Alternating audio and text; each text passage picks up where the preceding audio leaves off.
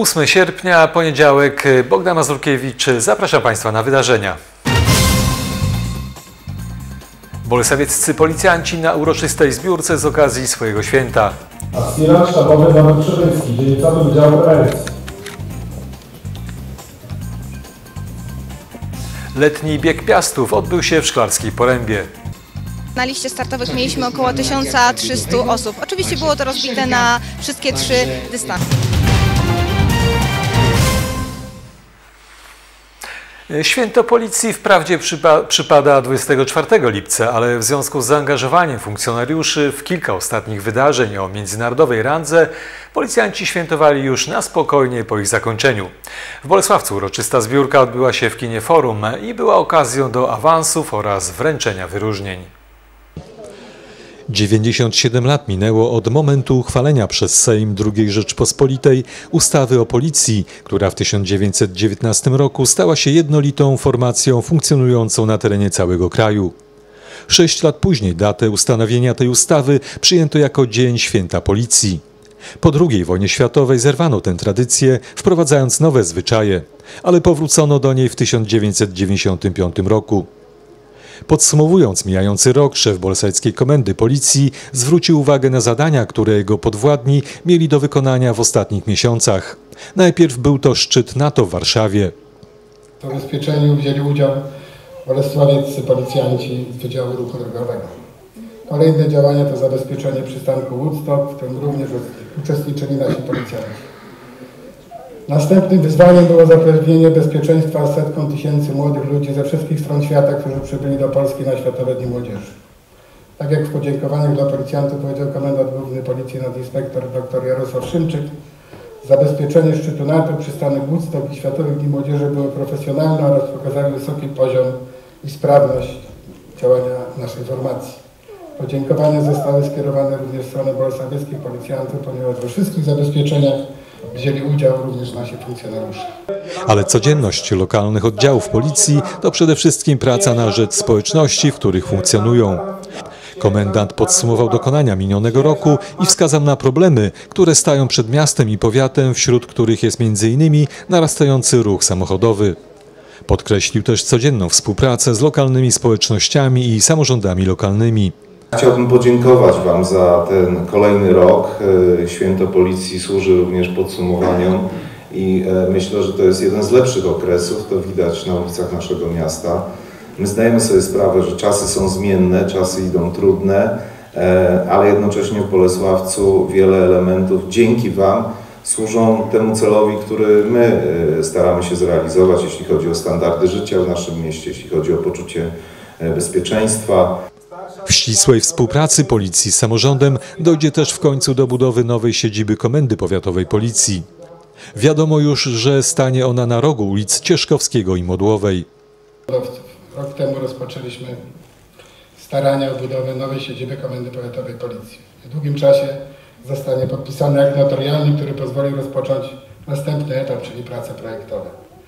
Nie byłoby to możliwe bez zgody Rady Miasta Bolesławiec oraz osobistego zaangażowania pana prezydenta Piotra Romana. Bolesławiecka Policja to również komisariaty w Kruszynie i Nowogrodzcu, posterunki w Warcie, Bolesławieckiej Osiecznicy, które są wizytówką nie tylko policji, ale również miejscowości i gmin, w których się znajdują. Nie byłoby to, gdyby nie pomoc panów burmistrzów i wójtów. Do 2018 roku planuje się też uruchomienie posterunku policji w Gromadce. Święto Policji to również okazja do wyróżnień i awansów. Rzeczpospolita Polska, Komenda Wojewódzka Policji w Wrocławiu, Komenda Powiatowa Policji w Bolesławcu.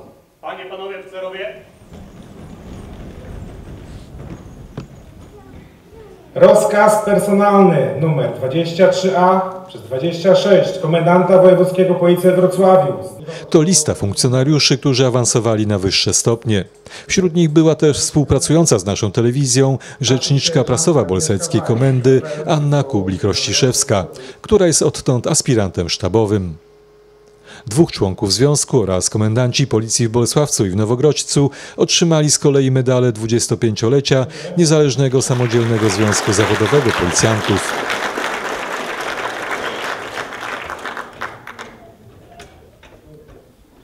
Na koniec były też prezenty. Samorząd Miejski przekazał bowiem 8 drukarek dla Wydziału Dochodzeniowo-Śledczego Bolsajeckiej Komendy Policji. Letni bieg piastów odbył się w miniony weekend w Szklarskiej Porębie. Tym razem biegano per pedes. 1300 biegaczy rywalizowało na kilku dystansach. Natomiast 50-kilometrowy ultramaraton wygrał Robert Faron. Na chwilę obecną na liście startowych mieliśmy około 1300 osób. Oczywiście było to rozbite na wszystkie trzy dystanse. To już czwarta edycja letniego biegu Piastów. Formuła w tym roku była dwudniowa oraz rozszerzona o ultramaraton. Letni bieg Piastów to impreza, gdzie startują wyczynowcy, ale także przedszkolaki. Postanowiłam wziąć udział, bo lubię biegać, a sama nie pamiętam, i który raz już biegnę. Przygotowanie do biegu i rozgrzewka są bardzo ważne. Pan się rozgrzewa, rozumiem, przed biegiem. Rozgrzewka przed biegiem. Jak jest ważna taka rozgrzewka? Oj, bardzo ważna. E, Zapobiega jakimś kontuzjom niepotrzebnym. Który raz? E, tutaj pierwszy, górski pierwszy, generalnie w tym roku czwarty półmaraton. Bardzo ważne jest przygotowanie, e, odpowiednie żele energetyczne e, i rozgrywka, którą zaraz, zaraz zacznę.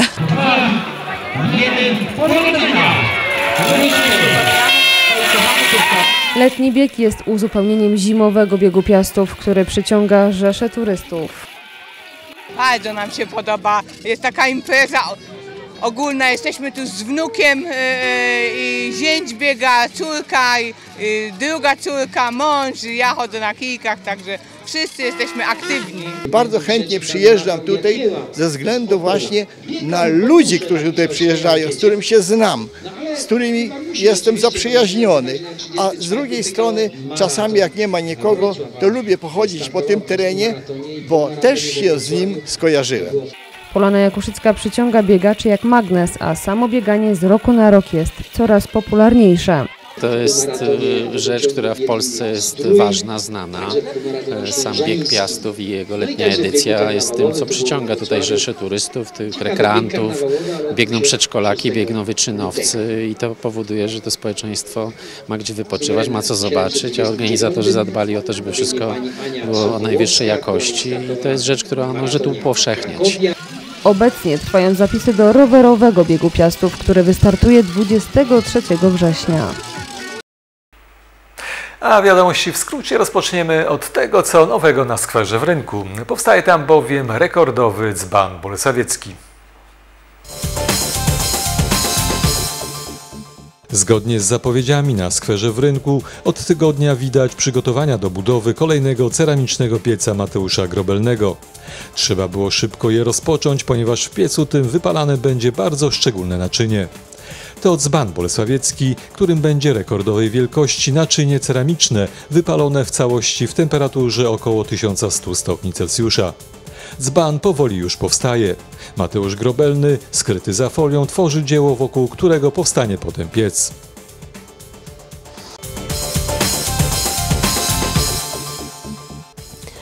Tegoroczny program Wyprawka Szkolna obejmie uczniów posiadających orzeczenie o potrzebie kształcenia specjalnego, m.in. słabowidzących, niesłyszących, słabo słyszących z niepełnosprawnością ruchową i intelektualną, uczęszczających w nowym roku szkolnym do klas szóstych szkół podstawowych, klas trzecich gimnazjów, szkół ponadgimnazjalnych, a także niektórych klas szkół artystycznych. Program dotyczy pomocy finansowej uczniom na zakup podręczników i materiałów edukacyjnych.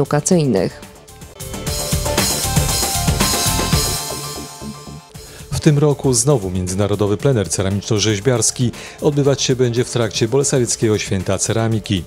Rozpocznie się w czwartek 18 sierpnia, ale zakończy dopiero we wrześniu. Przez miesiąc 14 ceramików rzeźbiarzy z Węgier, Turcji, Stanów Zjednoczonych, Tajwanu, Ukrainy, Polski, Czech oraz Chile pracować będzie w bolsajskich firmach ceramicznych nad realizacją swoich pomysłów.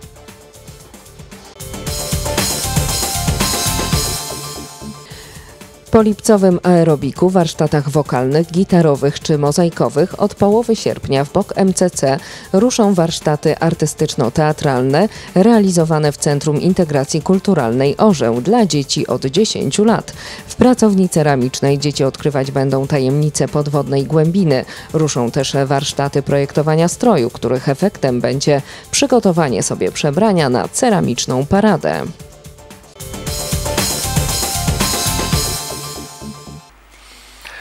Jak co roku w trakcie Bolesławieckiego Święta Ceramiki odbywać się też będzie giełda staroci. Kramy wystawione wzdłuż ulicy Prusa otwarte będą od piątku do niedzieli. Prezes Bolesławieckiego Towarzystwa Kolekcjonerskiego Jan Leon Stasiak od wielu dni odbiera telefony od kolekcjonerów zainteresowanych giełdą staroci organizowaną podczas Bolesławieckiego Święta Ceramiki. Jest to od kilkunastu do nawet kilkudziesięciu telefonów dziennie. Ja się spodziewam około 300, 300 wystawców. No wiadomo, jak jest jeden, to z nim zawsze jest dwoje, to jest około, około tysiąca, nie? Takich, którzy będą zainteresowani wystawianiem. Ale trzeba teraz mówić jeszcze o drugiej grupie ludzi, która przyjedzie, właśnie no, mówię z całego świata nawet, nie?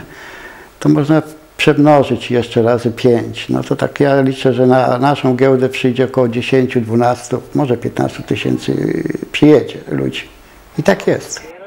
Zapowiedzieli się kolekcjonerzy z różnych stron Polski, ale też i z zagranicy, z Czech, z Niemiec, a nawet z Belgii. To ci, którzy będą sprzedawać, ale w ślad za nimi jadą też ci, którzy będą kupować. Bolesławieccy kolekcjonerzy wypatrywać będą przede wszystkim przedmiotów związanych z Bolesławcem. Można rzeczywiście znaleźć ciekawe przedmioty, nie tylko związane z ceramiką, ale również będzie ceramika. Na giełdach są już też przedmioty związane z latami powojennymi, lata 40., 50., 60. Pasjonatem przedmiotów z duszą jest działający w Bolesławieckim Towarzystwie Kolekcjonerskim Edward Jawny, który jak chyba każdy bolesławiecki kolekcjoner jest miłośnikiem także, a może przede wszystkim przedmiotów związanych z naszym miastem i powiatem. To dzwonek jest z Bolesławca jeden do roweru. To są tak zwane, jak się kiedyś mówiło, zakrętki do dzwonków. Nie? Z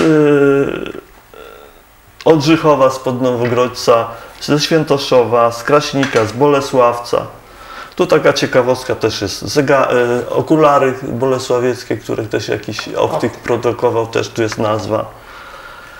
No i taką ciekawostkę wziąłem, nie wiem czy to muzeum też ma, bo kiedyś to właśnie w szkole podstawowej jeszcze tam wyhandlowałem od kolegi takie rzeczy i później właśnie zorientowałem się, jak już zacząłem kolekcjonować, do czego to służyło. A to się okaże, że to jest szablon do napylania właśnie tych popularnych bolesławskich napylaków. Więcej ciekawych przedmiotów związanych z miastem i powiatem, więcej informacji o giełdzie staroci i o Bolesławieckim Towarzystwie Kolekcjonerów pojawi się w dzisiejszej rozmowie tygodnia. W tym roku przypada 150-lecie powstania na ziemiach polskich kół gospodyń wiejskich. W powiecie bolesławieckim odbędą się obchody tego jubileuszu. Zaplanowano je na 14 sierpnia w Żeliszowie.